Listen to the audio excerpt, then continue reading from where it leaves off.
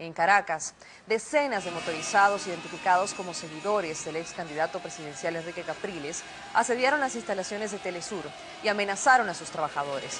Estos hechos se registraron mientras periodistas, camarógrafos y demás empleados de nuestra cadena televisiva continuaban con su trabajo.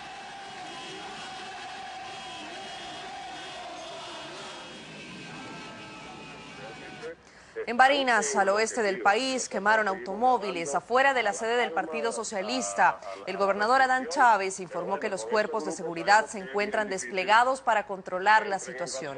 Adelantó que acudirá al Ministerio Público para que se castigue a los agresores. Adán Chávez acusó a varios dirigentes opositores de organizar estos disturbios. Ellos eh, tomaron como y el presidente electo Nicolás Maduro adelantó que tienen los videos donde se ven a todos los que están promoviendo la violencia, investigan el delito, al odio, al desconocimiento de estas instituciones. Aseguró que contra todos ellos se va a actuar legalmente.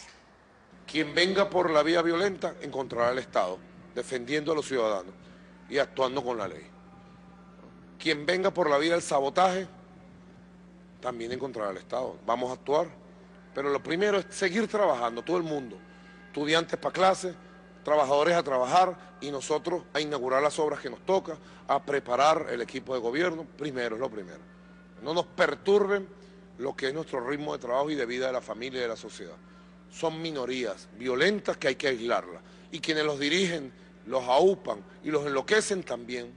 No solo aislar, tienen que verse con la ley. Ya le toca a los poderes del Estado actuar.